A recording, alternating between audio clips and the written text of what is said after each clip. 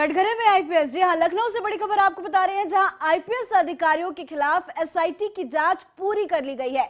तो लखनऊ से बड़ी खबर बता रहे हैं, जहाँ पाँच आईपीएस अधिकारियों के खिलाफ चल रही थी एसआईटी की जाँच और इस जाँच को पूरी कर ली गई है। पाँच अधिकारियों पर लगे थे भ्रष्टाचार के आरोप। नोएडा के पूर्व एसएसपी वैभव कृष्णा ने लगाए थे ये आरोप और इसकी जाँच जो है वो पूरी कर ली गई है।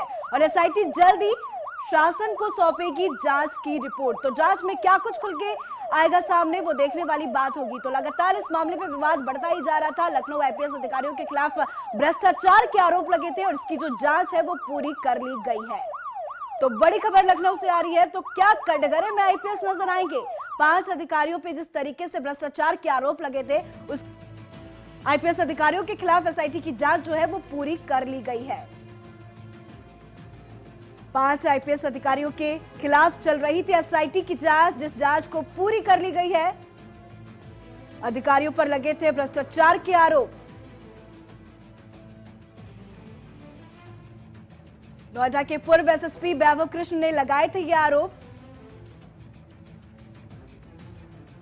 एसआईटी जल्द ही शासन को रिपोर्ट सौंपेगी।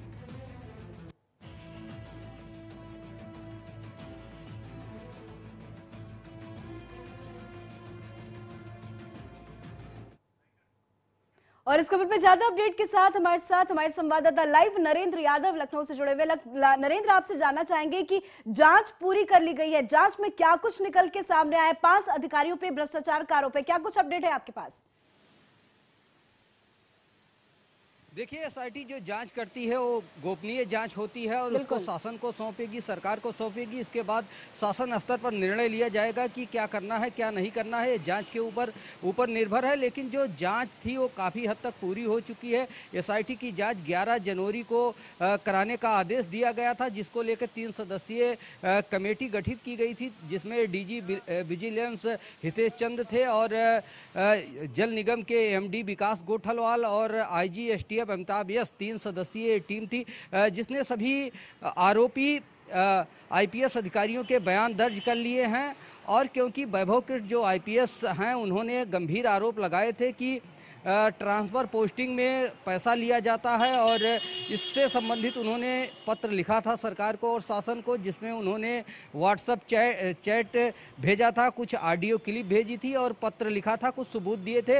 इनको, इन सभी दस्तावेजों को एसआईटी ने अपने पास रखकर जाँच किया और जो संबंधित अधिकारी इसमें फंस रहे थे, उनका बयान पूरा दर्ज किया गया है और इस घेरे में जो और अधिकारी आ रहे थे, उनका भी बयान दर्ज कर लिया गया है। अभी तीन पीसीएस अधिकारियों के बयान दर्ज करने बाकी हैं। उम्मीद की जा रही है कि एक सप्ताह के भीतर ही ये जाँच रिपोर्ट शासन को सौंप दी जाएगी। लगभग ये जाँच पूरी हो चुकी है और इस जाँच के आने के जाँच रिपोर्ट मिलने के बाद सरकार से शासन स्तर पर कोई कार्रवाई की जाएगी।